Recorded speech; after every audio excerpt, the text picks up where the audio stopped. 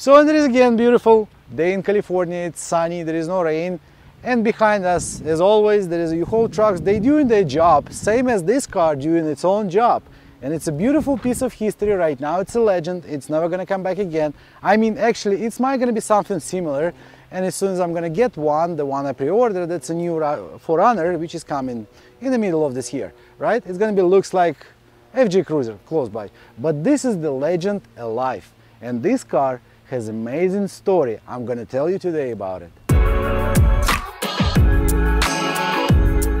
So in the history of this car, the story of this car is quite amazing. Again, if you're in the car business, you probably know what's going on. But if you're not, you might gonna be shocked a little bit. So this is 2013 Toyota FJ Cruiser in original factory orange color. There is a few modifications on it, there's a suspension, wheels, the roof rack which I'm sitting on just because I want it, because this car allows you to do so. So back in 2013, somebody bought this car brand new. And there is two ways. They might bought it and drove it a little bit to enjoy it and after sold it. So this car was made especially for US market, nowhere else. This car, when it was brand new, somebody shipped it to Japan. The whole his life, I mean, not all of life, but those seven and almost 10 years, it's been in Japan. Now, back in 2022, this car was bought at the auction in Japan and ship it back to United States. You know why? Because I don't know why. There is a currency exchange, there is a money you can make. Plus, on the top of it, the most important thing about this car, when you get in this car from Japan, you get in it again like brand new condition. This car has right now about 32,000 miles and it's still again the same as a brand new car.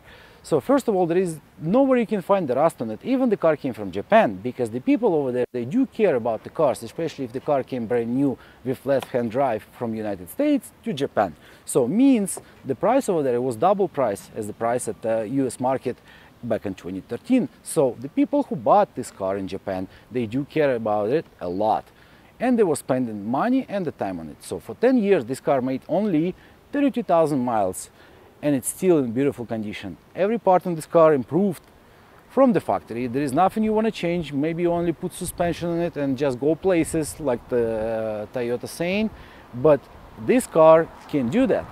So for example, nothing can stop you. I mean, if you're gonna go off-roading, if you wanna go to the jungle, if you wanna go to the road trip, you can do all in the same car. And you don't have to put any trailer on it. You might gonna put roof rack like this car does and this one snorkel so your engine gonna breathe even you're going under the water. So the water line on this car it's uh, it's going that high as your balls are. Design of this car it's kind of brutal. I mean that's the way the car designed and that's the way that's the feeling the car gonna give you if you're gonna get one. So the suspension of this car it's a fox and as you can see you're probably gonna see it later it's all scratched out already. So means the people who own the car before they use it the way it's supposed to be. The tires on this car, it's MT. I mean, you can go off-roading, you can drive it on the freeway, on the streets. It's all the same. It's a beautiful, nice tires. I'm not talking about the Cooper Discoverer, whatever it is. It's just the tires the way it's supposed to be on this car. The rims are so beautiful. It's not the factory one, it's aftermarket, but they just sit in so nice and the car looks so beautiful with that roof rack on it, with the American flag on the back. Uh, uh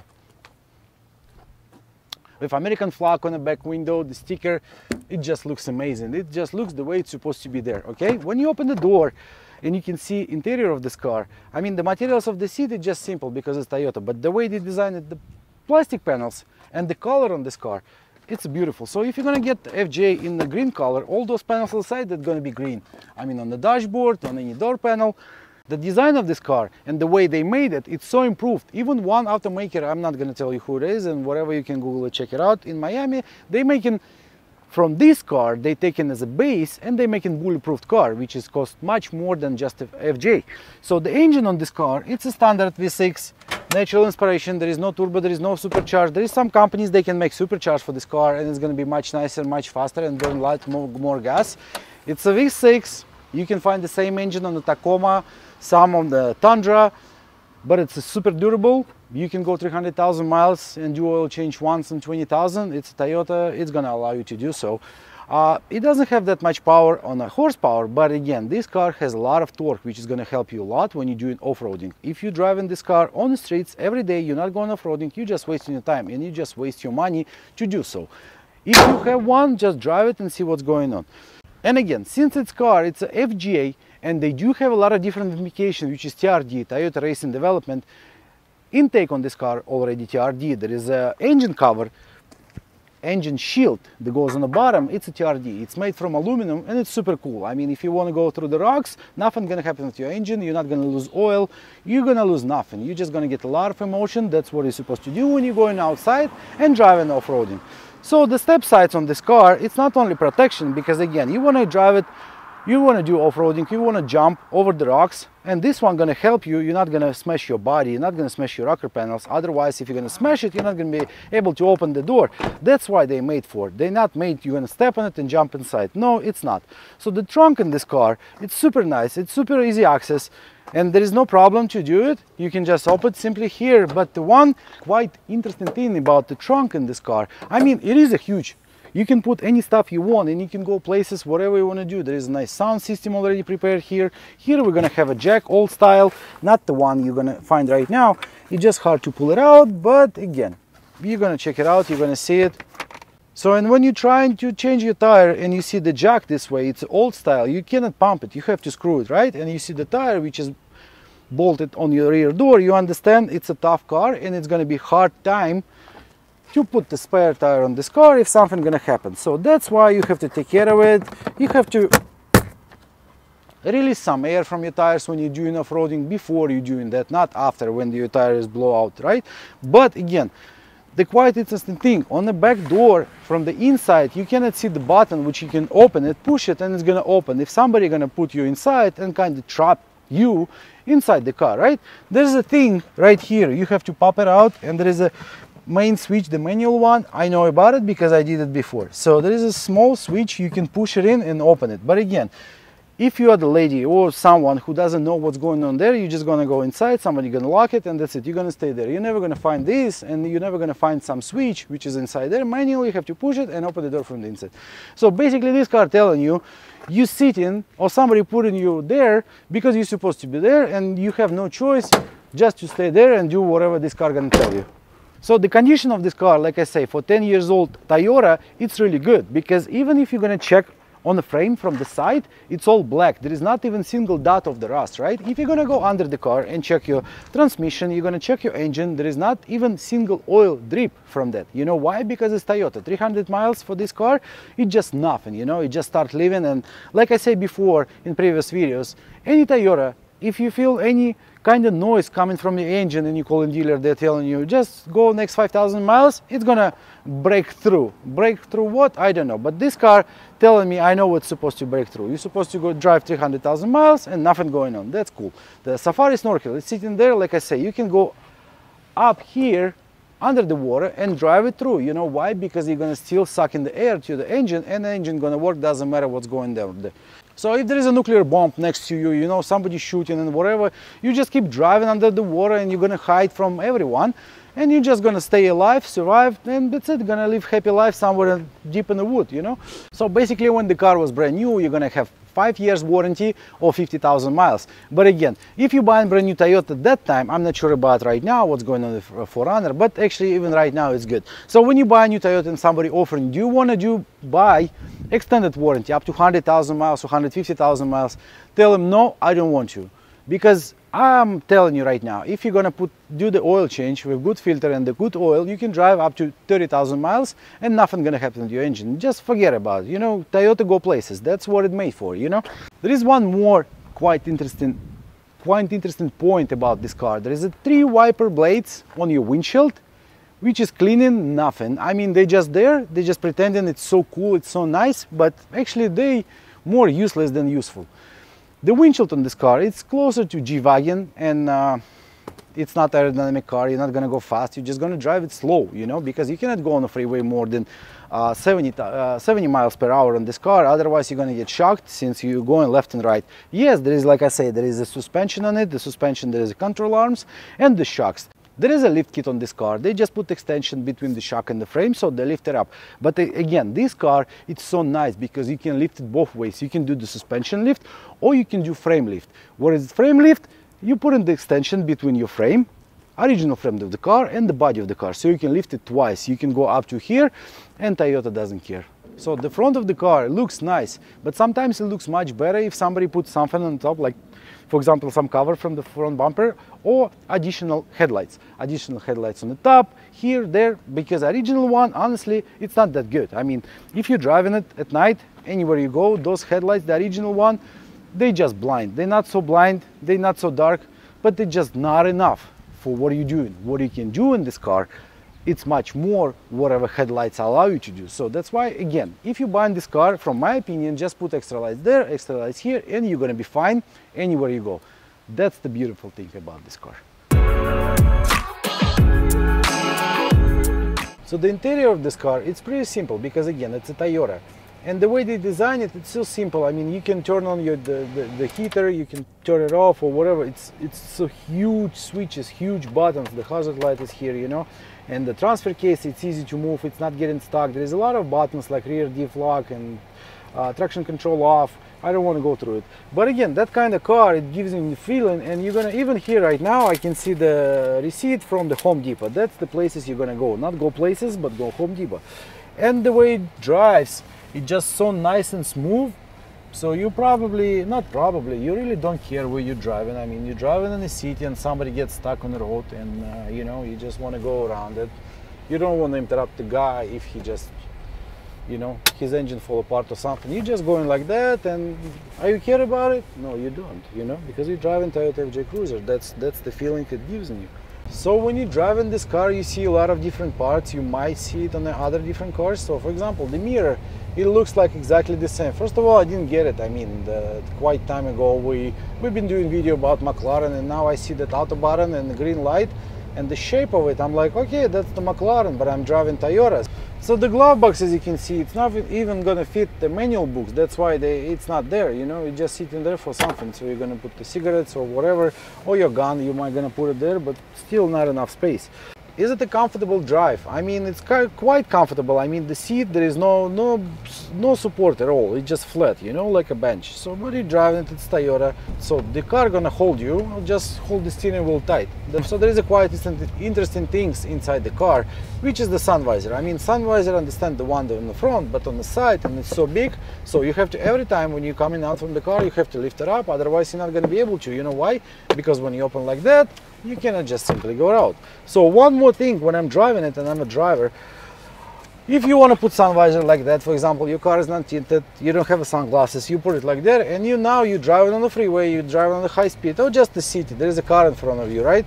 So when you're driving in the city or driving on the freeway, there is a sun shining, you know, you want to put your sun visor, open it because you don't have a sunglasses, but actually the windshield is so far away and it's designed this way, the sun never to come here. But again, you're driving it and now you remember your wife call you or you like trying to find the cash, you put it somewhere or the receipt you need it. So you're trying to open this compartment and what we have right now hmm, interesting. I cannot see the road, I cannot see the sun, what I can see, nothing. And you're just driving like that. Why they made it this way, I have no idea. And why you need the box right here, why?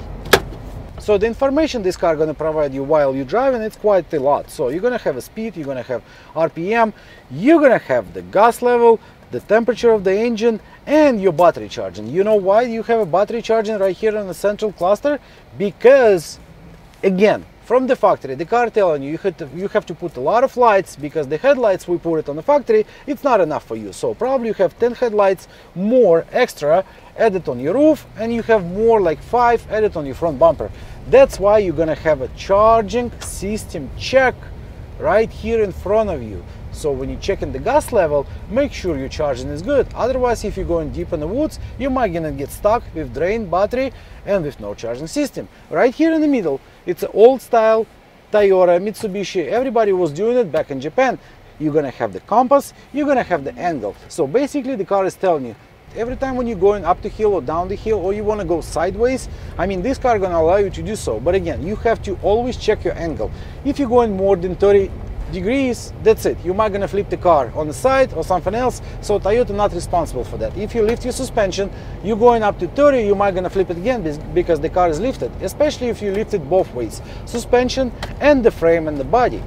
So that's it, 30 degrees, that's what Toyota telling you you can go, but not anymore. In the middle, There is a temperature outside. There is a watches. I mean, I don't know why, but it's nice. It's it, it came from 80s, not actually from 90s.